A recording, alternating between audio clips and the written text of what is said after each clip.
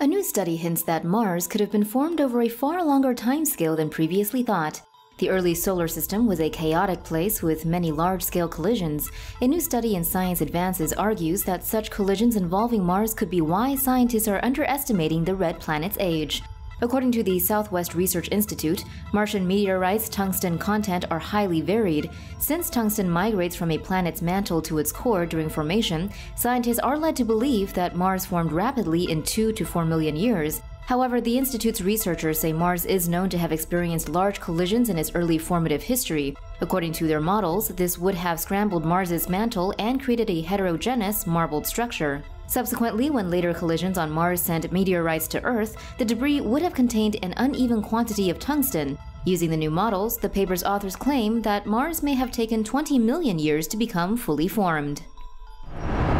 For more news animations and explainers, hit the subscribe and bell button to join the TomoNews family. Thanks for watching.